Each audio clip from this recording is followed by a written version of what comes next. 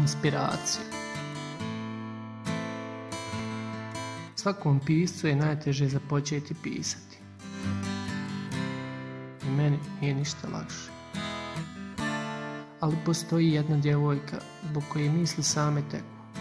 Riječi za čas napune svesku. Jedna koju sam zvao inspiracija, ali onako potajno, samo za sebe. Nisam ja bio neki govornik ili rječiti pisac dok nisam pročitao njeno pismo, dok se nisam zaljubio u sjaj njenog oka i plemenitost njene duše. U to blago lice bez trunka mržnje prema bilo kome ili bilo čemu, u nekog koji je zauzimao prvo mjesto u svemu kod mene.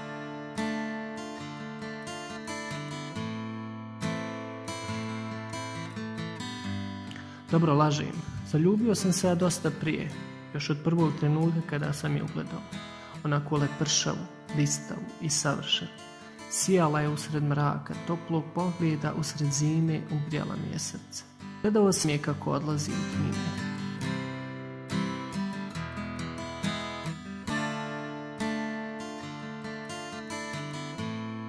Donijela je bojom moj crno-bijeli svijet. Svaki naš susret je bio tajna za sebe, svaki naš pogled uspomena za cijelo vrijeme.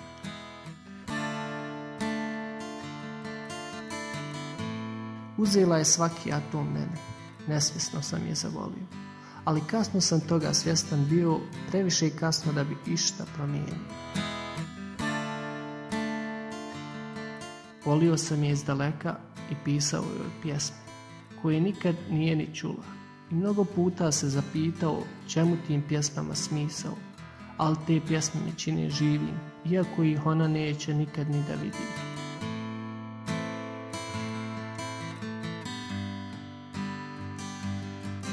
Teške su misli od kada sam postao svjestan potrebe za njom.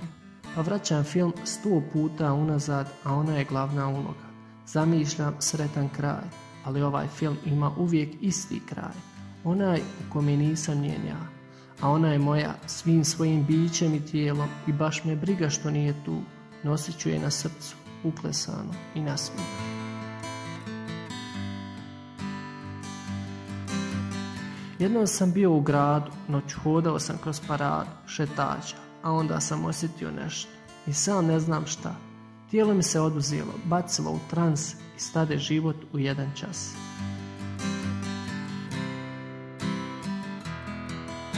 Pa sam podigao glavu i ugledao nju, malu, ali tako otmjenu, slatku i elegantnu.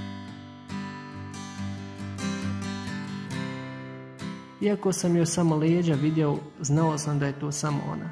Takve dvije ne postoje. Svaki bliži korak njoj mi je oduzimao da. Izgubio sam se na sama, šta joj reći, kako pametan ostati, kako svoje srce smiriti, kako pravilno disati.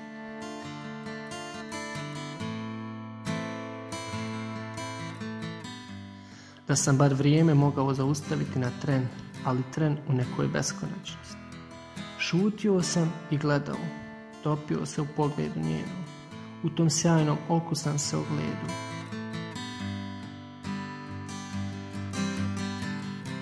Naš razgovor se sveo na par riječi i opet svako sebi, svako kući da svoje rane liječi. Došao sam poslije kući, Pao sam sa nogu, pao sam na seđu Bogu, molio za nju, molio i suze pustio kao nikad do tad. I osjetio jad, osjetio bol, kako prije nisam imao. U tom trenutku sam samo jedno želio, a taj trenutak još nije prestao, niti sam želju promijenio. Čudna je ta moja inspiracija, Nikad nisam znao kako mi se javila onda kada sam čitao njeno pismo, po ko zna koji put, da se posjetim na staru uspomenu od svih trenutaka ona mi se baš tad javila. A onda shvatiš da je želja stvoritelja iznad svih želja, jer on kaže budi i ono biva. Ništa neobično, to bi rekli mnogi, to je samo slučajnost, međutim, bilo je i to da sam milostivog jedno veće baš molio za nju, pa čim sam molitvu završio, on mi je nju poslao.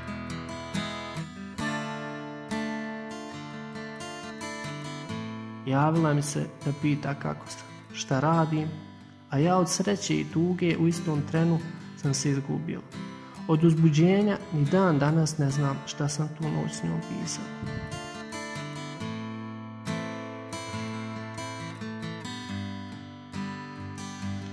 Zbog nje sam ja postao bolji, zbog nje sam svoj život promijenio, do tije mjeri da svaku djevojku uspoređujem s njom, ali nema druge takve pa sam prečesto sam i nisam spreman dati nekom svoju slobodu, svoje emocije i sebe cijelu. Za nekog ko nije kao ona, pa mi kažu ostaćeš sam, pa mi kažu da ja mnogo biram i da se umišljam. Ali niko ne zna šta je prava istina.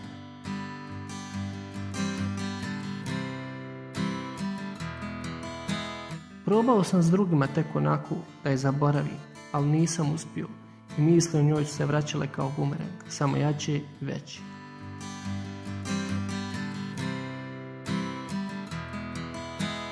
Nije mi bio izazov osvajati na osvoju, igrati igru mačke i miša, nisam od dolizivih i laskavih ljubavnika i od onih upornih. Ne privlače me one koje svako ima. Biće da sam čudnije prirode, ja igram samo na prvu i izazovi su mi nešto drugačiji. Život gledam iz druge perspektive, sve mi je crno ili bijelo. Ponekad mislim da sam se u pogrešno vrijeme rodio. Cijenim neke starine, umjetnine i život ne gledam od danas do sutra, nego pravim trenutke za pamćenje i danas i sutra, i jučer i prekućer.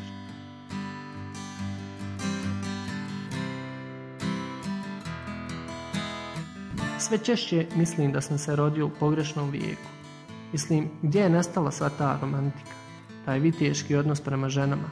S druge strane, gdje su nastale te fine, stidne djevojke kao što su nekad bile?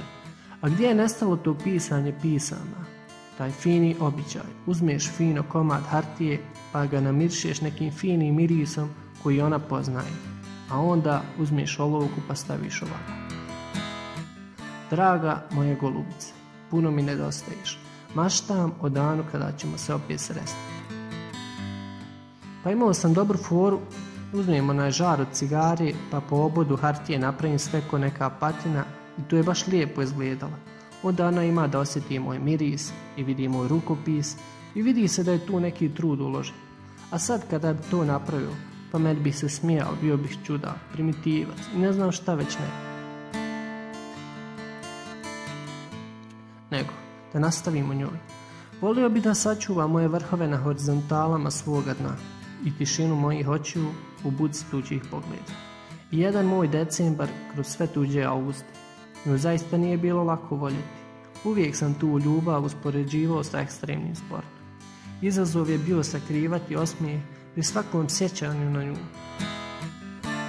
Budemo jasni, mrzio sam zimu, mrzio sam snijeg, međutim nije mi predstavljalo problem smrznuti se po neki put jer od dana kada sam vidio kako je pahulja na obrazu dobro stoji, zima za mene postala je sinonim za nas dvoje.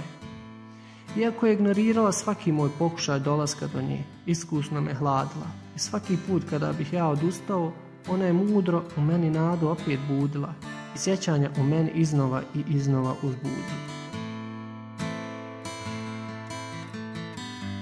Ne znam, u previše pjesama mi je do noća stala ali pjesma bez nje nekako nema smisla. Da li bih takva pjesma uopšte vrijedila išta? Zapitam se često. Žalosno je to kako sam ovisan o njoj, a osuđujem ovisnike o bilo čemu, a ne mogu osuditi sebe i naći rješenje svom problemu.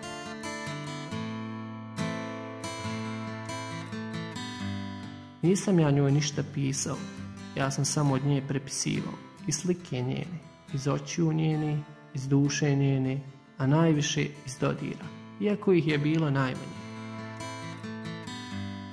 Da me bar pogleda još po neki put da se moja duša smiri, da zaboravim na sutra i ne mislim na jučer, da me pusti da je gleda makar i sa nekim sretnijim, jer neke oči nikad se ne preboli, a neke ljubavi nikad se više ne ponovi. Težinu svojih pogrešaka shvatimo tek onda kada sretnimo nekog koji ih ne prašta. A ako mi oprosti neka, pa se ohrabri, neka me na više mjesta potraži, ja sam stao negdje i čekam. Ona je bila jedina sa kojom sam bio u jednosmjernoj ljubavi. Nikad mi to nije predstavljalo problem, mislim to, voljeti za dvoje. Naravno, jer se u njoj radilo. Znala je da me uvijek može imati i da ću je ja kao gnjezdo što pticu selcu čeka uvijek čekati. Ludica navukla me na sebe onako nikotinski. Mnogo puta sam pokušao prestati o njoj misliti, međutim svaki put iznova mi je bilo slađe se nje sjećati. Krali su i prije, ali nisam gubio. Srca hrabra prepuštao je slobodama tuđim, nekim rukama hladnijim i nekim zagrljanjima slabijim. Navikao na distancu omeđenu maštom. U svijetu gdje sam se nadom kleo, na rubu distancije sam zamišljeno izgledao.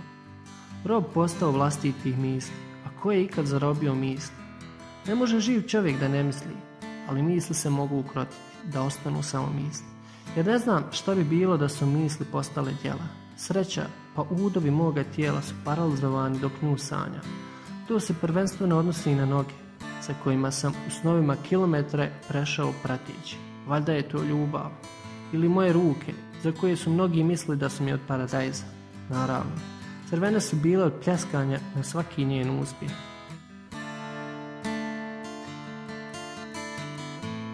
Svaki moj trenutak slobode bio je pod okovima njenih riječi. Zarobljen u tijelu nekog mladića, primijetih to ogledalo, a mislio sam da sanja. Sve dok nisam osjetio bol presahle duše i uvehlog srca, koje je na izmaku, jedva puls da otkucava.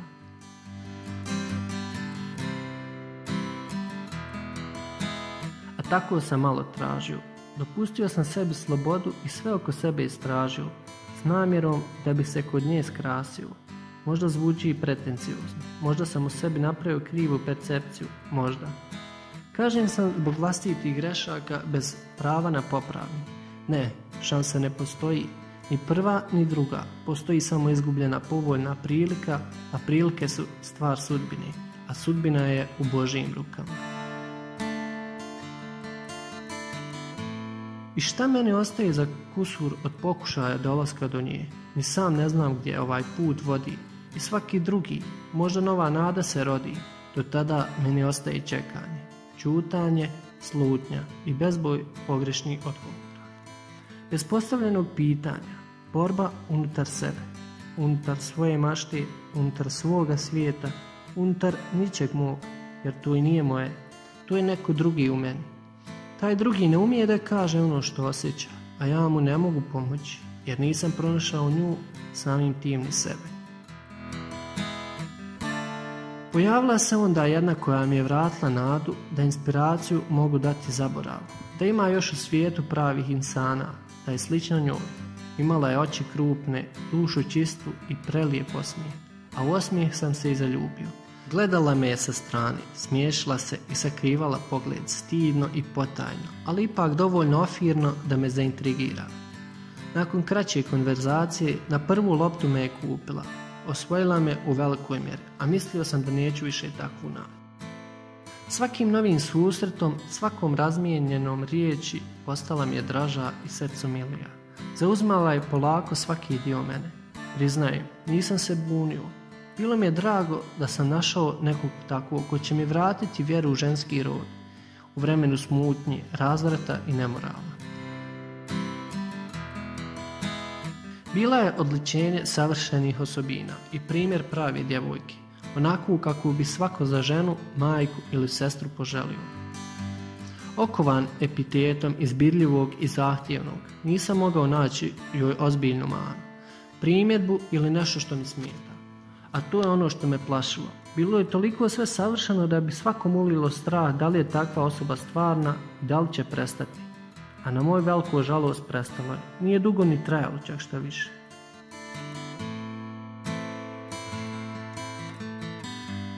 Višegodišnjim analiziranjem djevojaka, njihovog psihološkog razmišljanja i neverbalnog govora, znao sam prepoznati stvari koje mi ne moraju da mi kažu ili koje su željela sakriti Na tom polju sam se bio savršio do te mjere da kada bih i pokazao ili dokazao nekom tu tvrdnju, djelovao bih kao neko sa nadnaravnim moćima. Zapravo je bilo korištenje logike na malo racionalniji i objektivniji način, ništa više od toga.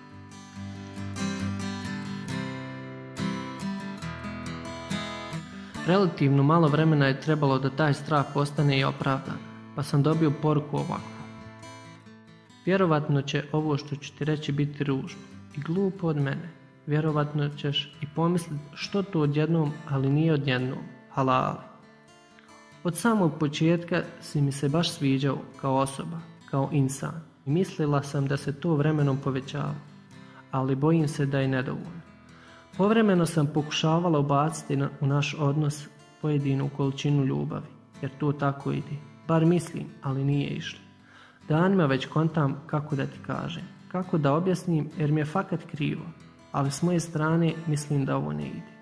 Nije do tebe, super si osoba, čak mislim da ne znam insana koji s tobom može biti negativan i nesretan. Jednostavno, ovo u ovom pravcu ne ide više. Krivo mi je na mene i bit će mi krivo, Bog zna do kad. Halali, mislim da je vrijeme da prekinemo. Ne bih voljela da ti vrijeme oduzima osoba koja više nije to. Da se nadam da me nećeš pamtiti samo kao osobu koja te, hajmo reći, povrijedila. Ali bolje je na vrijeme stati. Naći ćeš ti osobu koja će znati cijeniti tvoje vrijednosti i s kojom ćeš u potpuniti cjelinu.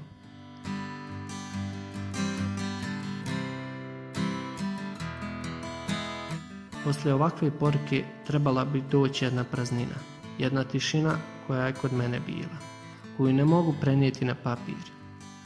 Sebe sam mentalno gradio da ovakve i slične stvari mene pogode. Da ne stvore meni neku bol i patnju, ali nedovoljno izgleda. Teško mi je palo to što mi nije mogla u oči reći, a najviše sam bio ljut na sebe. Što sam je krivo procijenio, što sam se pustio u kanđe jastreba, što sam bio titanik koji je santi leda vjerovao. Ništa joj nisam odgovorio, samo sam otišao do nje da čujem to iz njenih usta, da vidim to iz njenih očiju, ali sam tu veću grešku napravio. Više me je pogodilo to što u njenoj riječi halali nije bilo ništa iskreno, kao da mi je kamen to rekao, nego ta iznenadna poruka. Mada i nije toliko iznenada, ako uzmem u obzir da sam pretpostavio par dana prije toga da bih moglo doći do nečeg ovakvog. Između redova nešto nije štimalo. Nije bilo više istog žara, niti u očima istog sjaja. Teško je povjerovati, bar meni bilo, kako žensko neizgled takvo milo oko može biti prevrtljivo, hladno i licemjerno. Nisam uspio naći neki realan razlog, nekog krivca ili neku pozadnju svega što je dovelo do takvog razlika.